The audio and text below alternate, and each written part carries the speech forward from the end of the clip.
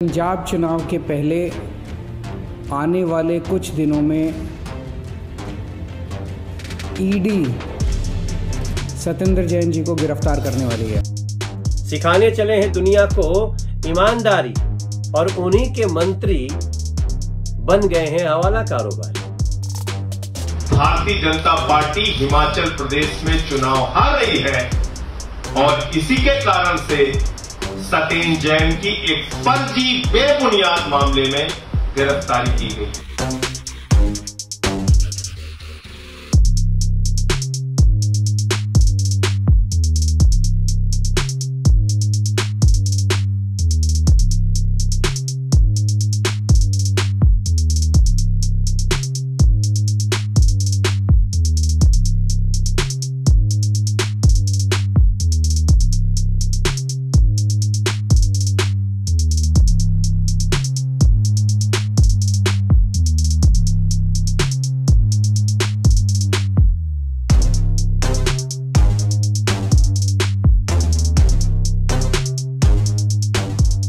जैन छूटकर बाहर आएँगे, क्योंकि ये एक बेबुनियाद फर्जी, निराधार केस है।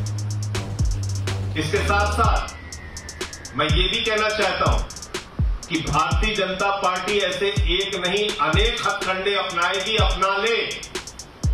आम आदमी पार्टी हिमाचल प्रदेश का चुनाव मजबूती से लड़ेगी और बीजेपी हिमाचल में हार रही है, उसकी बौखलाहट है और उसी के कारण ये गिरफ्तारी की गई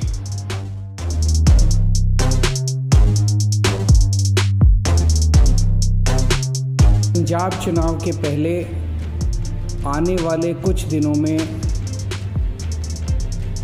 ईडी सत्येंद्र जैन जी को गिरफ़्तार करने वाली है।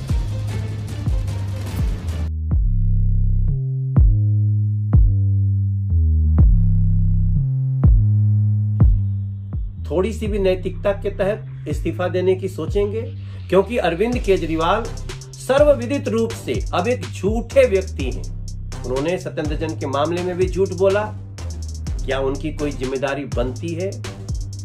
क्योंकि अभी ये पूरी टीम, पूरा खुनवा इनका सत्येंद्र जैन को बचाने के लिए उनको तरह तरह के मुद्दे लेकर के आएगा और एक हवाला कारोबारी को बचाने की कोशिश करेगा।